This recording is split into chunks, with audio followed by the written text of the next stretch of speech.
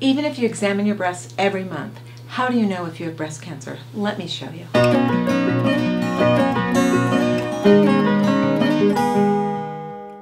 Breast cancer is one of the most frightening diseases a woman has to deal with. One in eight women will develop invasive breast cancer in their lifetime.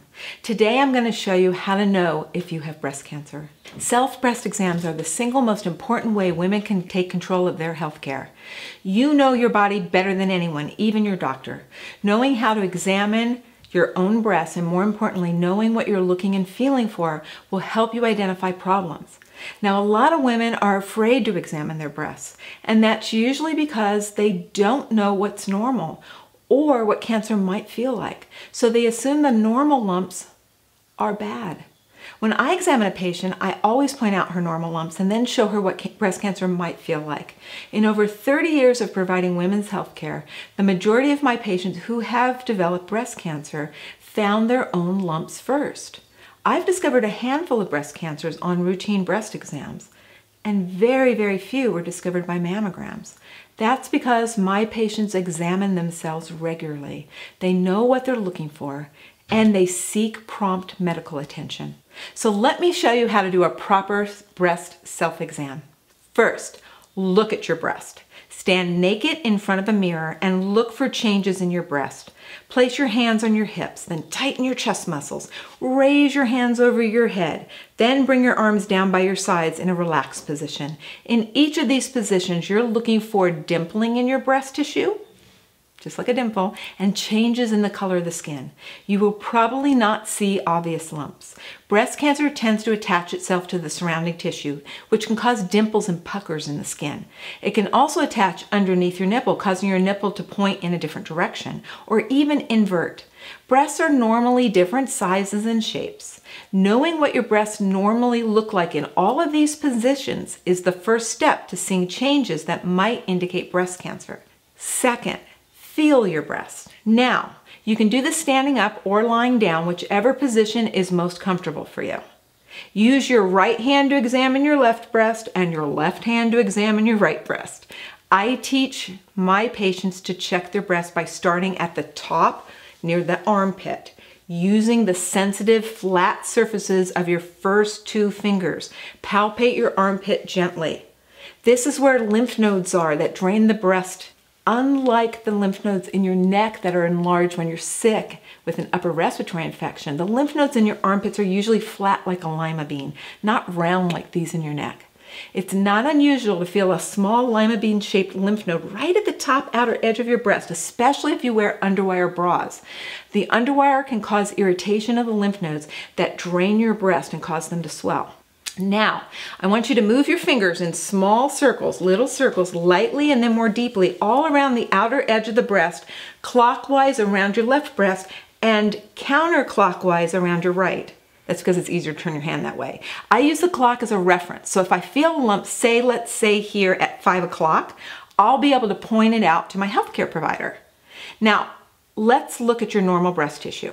From 12 to 2 o'clock on your left breast and from 10 to 12 o'clock on your right is your mammary gland. It's the large gland that produces breast milk. It's shaped more like a teardrop with the point being up here in your armpit. The mammary gland is usually firm like a contracted muscle. Compare its firmness to your contracted bicep. It's also kind of bumpy like the texture of cauliflower. That's normal. And it's normal for one mammary gland to be bigger than the other. Now, keep palpating using the flat surface of your two fingers, not the tips. They're not as sensitive to texture, and your fingernails might poke your skin. Keep moving around your breast like you're moving around a clock.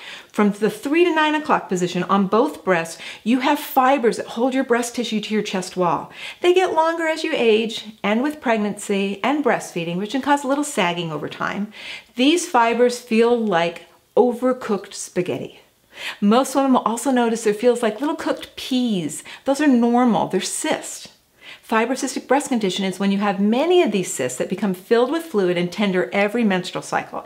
The difference between normal cysts and breast cancer is breast cancer tends to be very hard, more like a bone. Compare it to the tip of your elbow. What does this lump feel compared to the tip of your elbow? It's that hard. That's how hard breast cancer is. Remember how I explained in the beginning that cancer likes to attach itself to the surrounding tissues? Normal breast cysts will move around slightly. You can move them. Breast cancer roots itself and it's not movable. Now, in the inner part of each breast, from 9 to 12 o'clock on the left and 12 to 3 on the right, is fatty tissue that feels kind of like jello. I like to use food analogies since most people have felt cauliflower, spaghetti, peas, and jello before. Keep circling your breast lightly, okay? Then more deeply all around until you get to smaller and smaller circles until you get to your nipple. Then you check for nipple discharge. Gently squeeze your nipple and see if there's any fluid. If you see any, Take a white tissue paper and blot your nipple. You're looking for colored discharge. Green, yellow, brown, bloody, even bluish discharge is not normal. Your breast ducts do have a little bit of fluid in them. So if you check vigorously or often enough, you may see a little clear, slightly cloudy, milky looking nipple discharge. That's very normal. The white tissue will just appear wet. So let's review what you're looking for when you perform a self-breast exam. Number one, breast lump.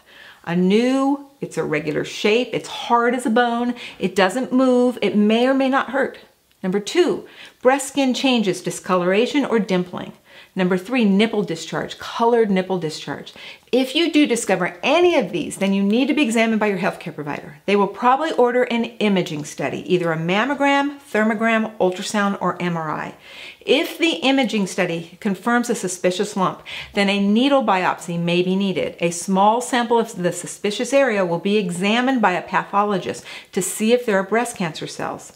Breast cancer affects 12% of women, but if you check your breasts every month, you'll be more likely to discover a suspicious lump at an earlier treatable stage.